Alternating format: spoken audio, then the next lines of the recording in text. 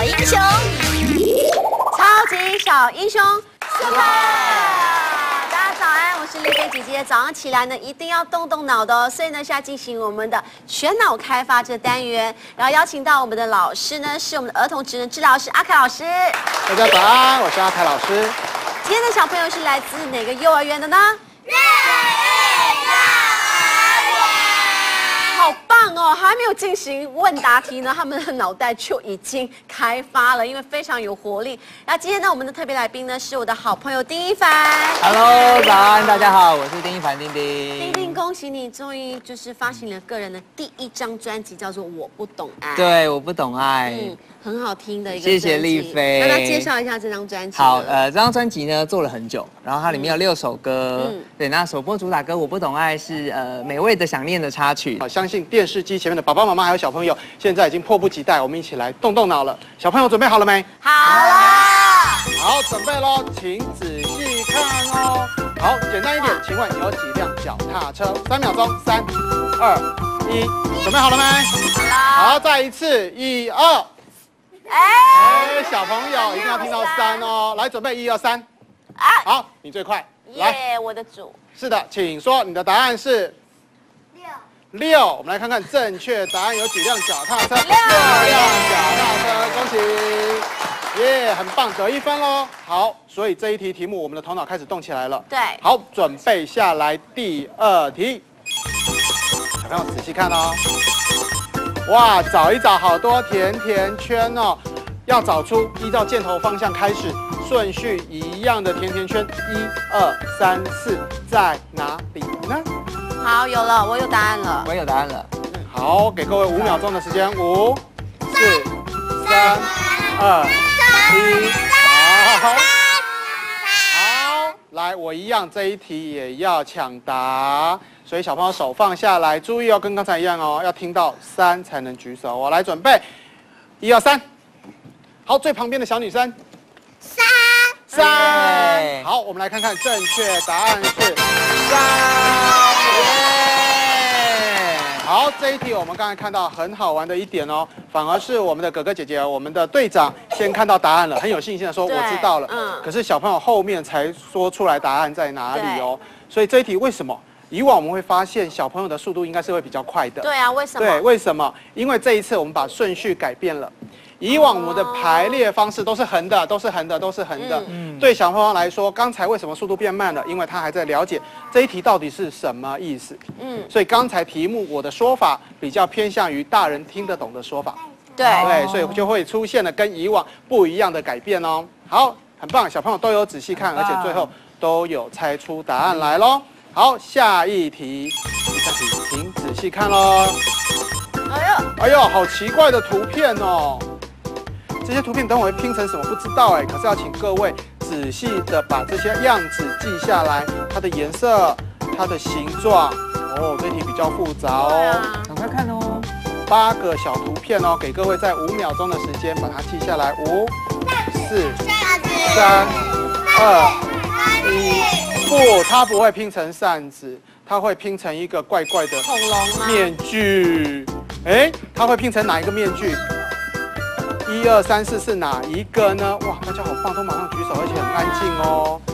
好，这一题举手的人偷偷把你们答案告诉队长，我们让队长来回答。告诉一帆哥哥，告诉丽菲姐姐，等一下我们请他们来回答。给各位五秒钟的时间讨论，五、四、三、二、一。好，我有答案了。好了，我也有答案了好，我数到三，一起说出你们的答案。一二三。二，好，一凡哥哥是二，丽菲姐姐是三，其他小朋友是一。好，来，我们来看看正确答案是耶，赢了，耶！好。为什么会有不一样的地方呢？因为我们刚才多了什么？记忆。嗯前面的题目就是孩子直接看图案，然后做比对。这个我们在前礼拜、前几个礼拜有说过，这叫视觉区别。但是这个呢，我们需要的是视觉记忆，再加上什么？我们一个人可以记的记忆量是七正负二。刚才有八个小图片，所以对大家来说会变得比较困难。嗯对，所以大家如果说你记的时候没有把一个特别的特征记住的话，你忽略了那一个，你在比对上就可能出现错误。哦，所以小朋友如果出错没有关系，这个部分需要多加练习哦。好的下一题，请仔细看哦。医生还没有，我还没出题目，你知道吗？哎，首先放下来喽。好，很棒，来仔细看。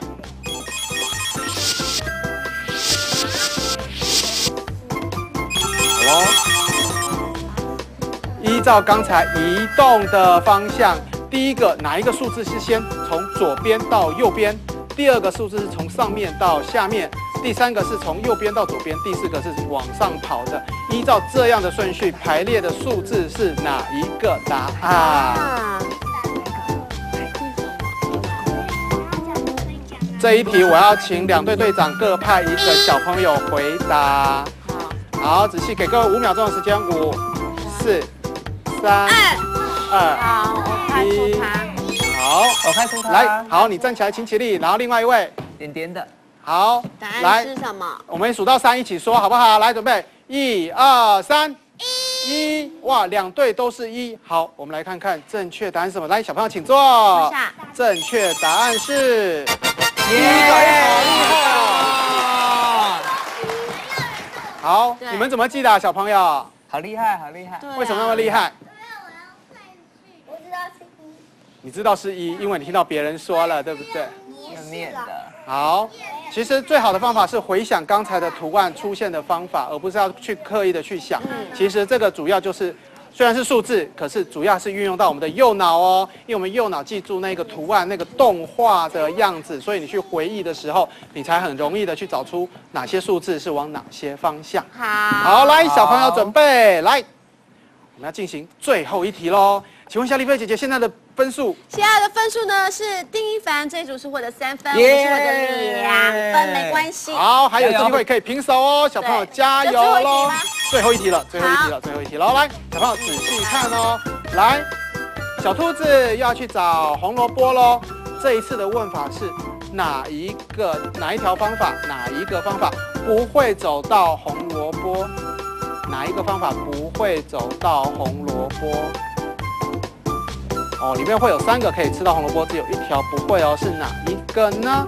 好，给各位五秒钟的时间，五、四、三、二、一，一二三四是哪一条呢？好，一吗？是不不不对哦，不对哦，是不对的哦。出现了。好，那这一题怎么办呢？把你们答案给队长，让队长来回答。三好好好，OK。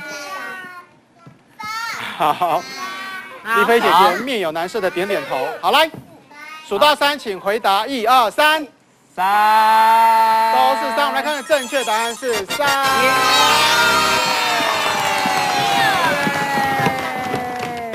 好，所以最后的比数是最后比数是丁一凡这组获胜，四比三，恭喜你们！谢谢。阿克老师也有礼物送给哦。是的，各位小朋友也玩了我们的今天的题目了，也想要得到奖品，对不对？来，只要到我们的粉丝专业回答我们的题目，就有机会得到我们这一组是厨房组哎。我很喜欢玩这个哦，虽然我是一个大男生，为什么因玩为这样的一个游戏其实是训练孩子的创造力。对，千万不要妈妈说，哎呀，这个锅子就是应该煮鱼的，这个锅子应该就是煎肉的。其实孩子有创意是很好的事情，然后再带孩子，如果有机会让他实地的参与厨房的作业，孩子才会真的知道厨房在做什么事情哦。好了，我们来问什么题目呢？嗯嗯，好，刚才的最后一题，我们小兔子要吃的是什么？小兔子要吃到的是什么？哇？